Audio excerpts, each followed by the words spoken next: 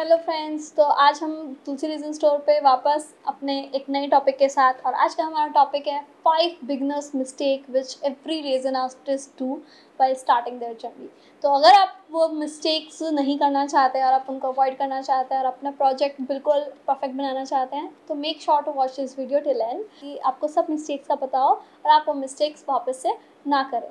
तो first of all जो most common mistake है, वो है हमारे रीज़न को प्रॉपर मेजर नहीं करना। So that is our first mistake हमें हमेशा ध्यान रखना है, जब भी हम रीज़न से वर्क करते हैं तो हमें उसको प्रिस्क्राइब्ड हमारे वेइंग स्केल में ही मेजर करना है। डिजिटल वेइंग स्केल में डिजिटल वेइंग स्केल में ग्राम्स बेसिस पे आपको उसको मेजर करना है, क्योंकि every resin is measured by weight and not volume तो हमें उसको मेजर करना है और उसको हमें उसी प्रिस्क्राइब रेशियो में लेना है, जो उस मैंशन है। Two is to one resin को two is to one ratio में three is to one resin को three is to one ratio में तो वो काफ़ी इंपॉर्टेंट है। ये मिस्टेक अवॉइड करना है, हमेशा विंग स्केल यूज़ करना है, ताकि हमारा जो भी आउटकम बने, वो बिल्कुल भी स्टिकी नहीं रहे और बेंडी नहीं हो और बहुत ही अच्छे से क्योर हो। सेकेंड जो मिस्टेक हमेशा लोग करते हैं सफिशियंट रीज़न तो अगर हम जो मोल्ड में रीज़न करते हैं, और काफ़ी बार हम देखते हैं कि हमारा जो आउटकम है, वो बहुत ही थिन निकला है। ये क्यों होता है? बिकॉज़ हमने उसमें सफिशेंट रीज़न नहीं डाला है। हमें उसमें रीज़न और एक्स्ट्रा डालना है और एक्स्ट्रा रीज़न डाल के हमें एक प्रॉपर थिकनेस का आउटकम क्रिएट करना है जो हमारा यूजेबल है। ये काफ़ी थिन है।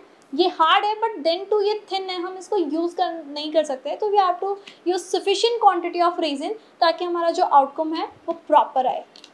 Now what is the third mistake third mistake is not working in layers जब हम रेजिन को लेयर्स में वर्क नहीं करते तो हम फेस करते हैं कि हमारा जो आउटकम है, उसमें बहुत बबल्स आ जाते हैं और वो कुछ इस टाइप का मैसी दिखता है।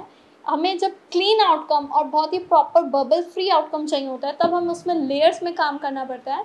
ताकि हमारे जो भी इस टाइप के थिक मोल्स होते हैं, हमारे जो भी इस टाइप के थिक मोल्स होते हैं, इसको हम एक ही बार में रेजिन से फिल नहीं करना है, हमें इसको लेयर्स में फिल करना है। लेयर्स में फिल करना है मतलब वी हैव टू पोर हमें आज इसमें रेजिन डालना है, उसके बाद हमें उसको eight ten eight to ten hours के लिए लीव कर देना है अकॉर्डिंग टू आवर रीज़न और आठ से दस घंटे के बाद हमें उसमें सेकेंड रीज़न की लेयर डालने हैं। लेयरिंग मतलब हमें आज इतना रीज़न डालना है नेक्स्ट डे इतना डालना है, फिर उसके बाद और डालना है। और ऐसे हम इस आउटकम को बनाने के लिए कम से कम फोर टू फाइव लेयर्स का यूज़ करेंगे। एक या दो लेयर में हम इससे वॉक नहीं करेंगे, अगर हमें इस बबल्स अवॉइड करने हैं तो। सिमिलरली जब हम ऐसे बड़े पीसेस पे या थिक मोल्स में काम करते हैं, हमें इसके अंदर more than ten M M pour नहीं करना है।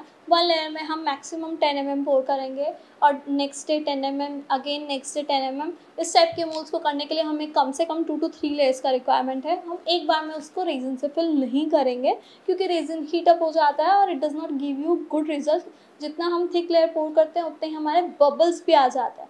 तो इसके लिए हम जब भी थिक मोल्ड्स में या डीप मोल्ड्स में यूज़ करेंगे 50 एम एम मोल्ड है तो minimum five layers of resin is required similarly हर एक मोल्ड के अकॉर्डिंग हम उस टाइप से हमारे रीजन को लेयर्स में वॉक करेंगे. सो so, ये थी हमारी तीसरी mistake now let's come and see हमारे जो फोर्थ मिस्टेक्स लोग करते हैं. That is no gloves no resin तो ये काफ़ी इंपॉर्टेंट है। हमें हमेशा रेजिन यूज़ करते वक्त ग्लव्स ज़रूरी हैं। If you are not wearing gloves don't walk with resin gloves are very very important while you are working with resin तो इधर आप नाइट्राइल ग्लव्स यूज़ करें या प्लास्टिक ग्लव्स यूज़ करें, हमें ग्लव्स बहुत ही इंपॉर्टेंट है रेजिन में वर्क करते वक्त। Now fifth least last but not the least mistake that is हमारा सरफेस लेवल नहीं होना।